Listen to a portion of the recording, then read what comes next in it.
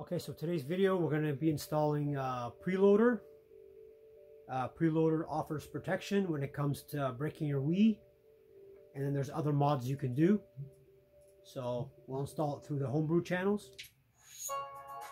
Go to start.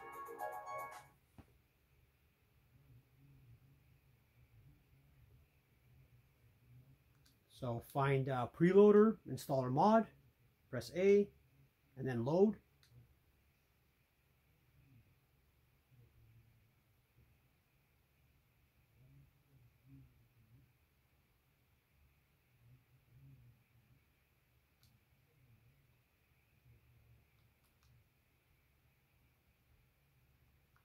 There you go. Pretty fast uh, download. So now you have Priiloader on your system. Uh, now we're going to go back to uh, WiiMod Lite because um, I have the channel for it. So we're going to install the channel. Go to load.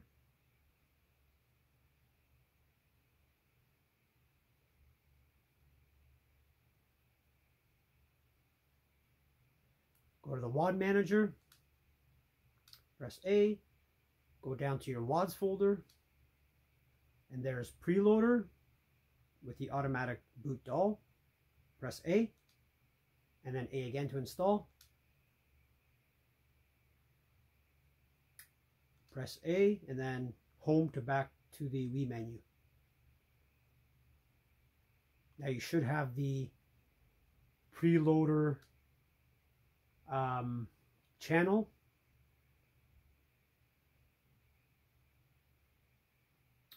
what this will allow you to do is uh, right, and there it is, right from the main menu, you can just go right into Priiloader.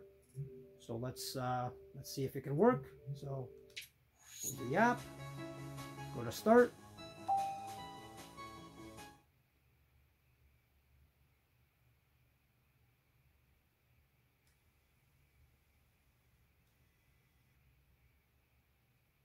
And there you go. You're in Priiloader. Um, you got to go to System Menu Hacks, press A. Now, these are the three that I recommend that you enable. Uh, block disk updates and block online updates. And then the region-free everything you also enable. Uh, these are the only three. Anything else you do, do it at your own risk.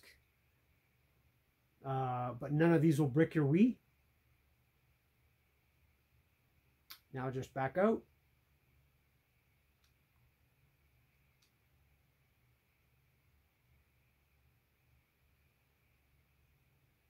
Just go to Save Settings, press A.